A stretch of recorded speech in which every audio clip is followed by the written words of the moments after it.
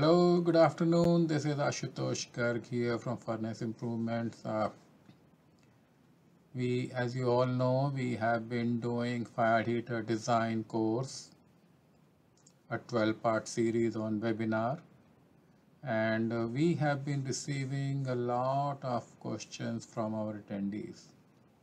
So I thought, why not go ahead and start answering some of these questions so that you have answers and uh, we are going to do a special Q&A session on radiant section design this month but uh, I'm taking we got so many questions I thought maybe we will start uh, answering them and uh, provide some clarity to your uh, questions. So the first question we have and which is a very broad question is what are the critical design parameters for fire heaters? And this is a question, I mean, I can keep on going on for hours, but we'll keep it short. And uh, we will talk about the critical parameters. Fire heaters, as you all know, have two sides or two important uh, sides as we call it. One is the fluid side and that is the main function of fire heater. And second is the fuel side or flue gas side which is providing the heat. So let us look at the fluid side parameters first and see what are the important parameters. The first thing we want to know is how much fluid are we heating? What is the flow rate of that fluid? And that will determine a number of uh, parameters in the fire heater, the number of passes, the tube size, uh, all those uh, uh hardware, radiant section, convection section design. So we need to know what is the fluid flow rate. It can be given in pounds per hour, it can be given in barrels per day, uh, or kgs per hour, whatever works out, we can use those units. The next important parameter we want to talk about is the temperature, fluid temperature in and fluid temperature out. We are heating the fluid in fire heater, so it's very important to know what is the inlet temperature of this fluid and what will be the outlet temperature. So basically we can determine the heat duty. How much heat is being absorbed by this fluid.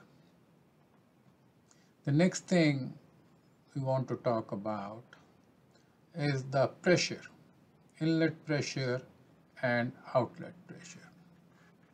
What is the pressure drop allowed across this heater? Pressure drop is one parameter, important parameter, which can determine so many things in your fire heater. So it is very, very important to specify the correct pressure drop or the maximum allowable pressure drop across the heater so that the heater vendor can provide you with the best design. Pressure drop is also relevant for the next parameter which is the fluid mass velocity.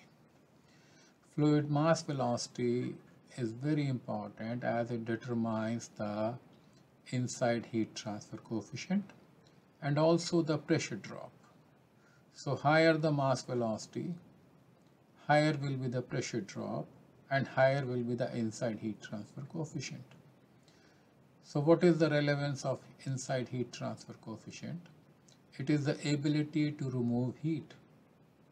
So as a result, the film temperature will be lower if you have higher mass velocity, you will have lower film temperature and film temperature is the one which kind of controls the cracking. One important parameter we have to remember in fired heaters is we are heating hydrocarbons and any cracking will lead to carbon formation inside the tubes and that carbon formation will land into coke and ultimately we'll have to shut down the fired heater. So maximum film temperature becomes an important parameter. If you have two designs, one with a film temperature of 750 degree F and the other with 770 degree F, you can be assured that the one which is 770 will be coking at a much faster rate.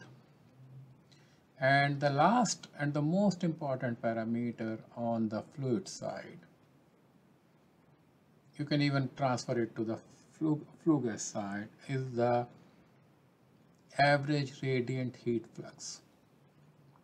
It's the heat transferred per unit area in the radiant section. And uh, the lower the flux you specify, better it will be for your fired heater in the long run.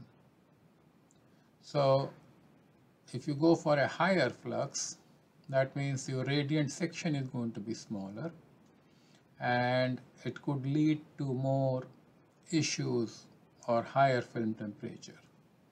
So, some, so these are some of the important parameters which we need to specify or need to define clearly when we are designing fire heaters. Let us move on to the flue gas side or the flue side, fuel side.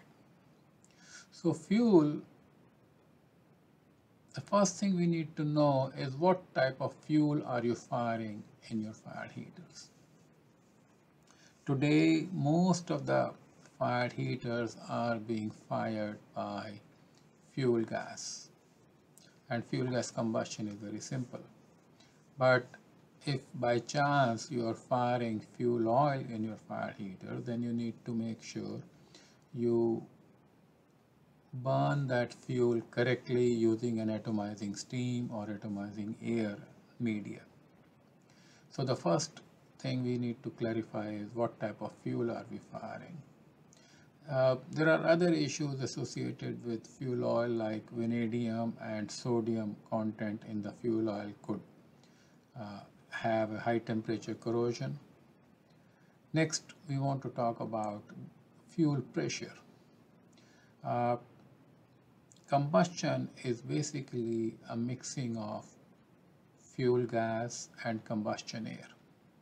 And mixing needs energy, so higher the energy, the better will be the mixing. So you want to use higher fuel gas pressure to get better combustion. Now on the liquid fuel side, you want to have lower viscosity so that you can atomize the fuel oil to fine drops and you can have a good combustion. So these are some of the critical parameters. Next is excess air and uh, excess air is required for completing the combustion. Uh, most of the clients wants to use minimum excess air for efficiency purposes. And uh, we have to ensure that whatever burner we select can deliver that minimum excess air satisfactorily and with the correct flame, shy, flame type. Uh, burners is again very very important. What type of burners are we using and how many burners are we using you know most of the heater vendors try to cut down on the number of burners. Uh, but if you are an owner you want to ensure to have small flames uniform heating so you need more burners. That means more cost.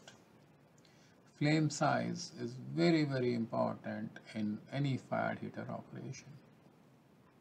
You want to have flames never touching the tubes or never touching the arch or the convection tubes so flame size, you have to make sure that you get a good flame size from your burners in your heater. Uh, another important parameter is burner to tube clearance. The higher the clearance, the better will be your heater operation, better will be heater design, but it leads to more cost. API 560 has some minimum burner to tube clearances uh, as a go by. Then comes the flue gas temperature to stack and uh, it's a direct uh, relation of uh, efficiency. So lower the stack temperature, higher will be your efficiency. So you can go almost as low as 25 degrees approach. Then is the thermal efficiency. I mean in these days of uh, greenhouse gas emissions you want to make sure you emit the minimum carbon greenhouse gases so you want to have the maximum efficiency we can get almost all the way to 90 95 percent these days and the last thing which we want to talk about is the NOx emissions. They have become very important in the past 50 years. And we want to ensure that our heaters emit the least amount of NOx but NOx comes at the expense of flame quality. So you want to have strike a balance between the NOx emissions flame size number of burners so that you get an optimum heater so these are some of the parameters I have listed and if you have any questions on these parameters please feel free to send an email to me or send a message and we'll be happy to answer your questions. Thank you. Have a nice day. Bye.